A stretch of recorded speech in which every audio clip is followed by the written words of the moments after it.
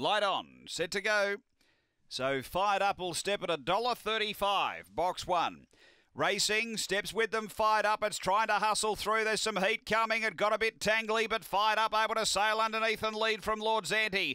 Uh, then late missile, chance perfected. Hayride Reed got a check and drop back, and Mr. Onassis, but up to the turn, it's all fired up. Well clear turning from Lord Zanti, running on Hayride Reed, but fired up, won it by plenty. About seven lengths. Second is Lord Zanti, I reckon, just from Hayride Reed. Then Mr. Onassis, uh, late missile and chance perfected. The time here is around uh, 19 and 90. After the running of race number three and fired up, uh, too good here.